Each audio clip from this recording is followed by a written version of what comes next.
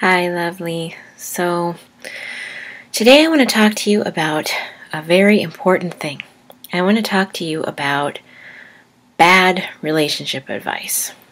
So, bad relationship advice abounds in the online world and just face to face. You know, um, the thing that I see a lot with clients that come to me is someone in their life has told them that they need to break up with someone.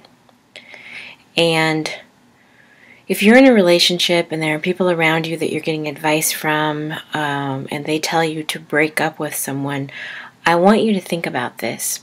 You know, you're the only one who can really make that decision because you're the only one who knows the value of that person in your life. You know what they mean to your heart. And so no one else can really tell you whether it's time for you to break up with someone or not. The other thing to consider is that a lot of times when people are telling you to break up with someone, it's really because of two reasons. Um, this is like the majority of the time. Either, number one, they're projecting their stuff onto you so, for example, like they've had bad relationships in the past and they wish that they had broken up with someone sooner before in their past.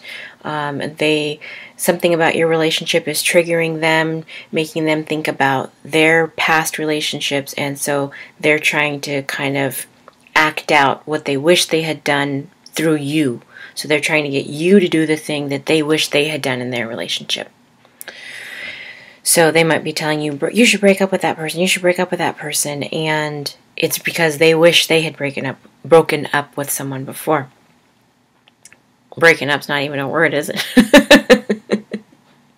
anyway, uh, so they wish that they had broken up with someone before. So that's why they're giving you that advice. It's really about them. The other thing might be that sometimes when we're having a hard time in our relationship, we go to one person that's very um, they listen to us and we tell them all about the hard things that we're going through.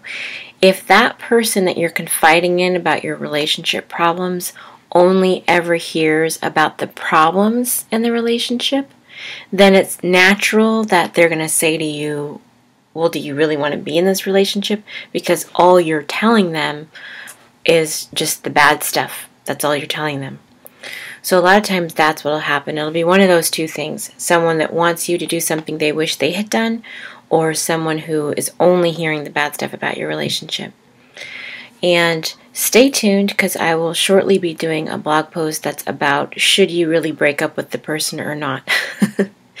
so in the meantime, just know that you are the only person who knows if you should break up with someone.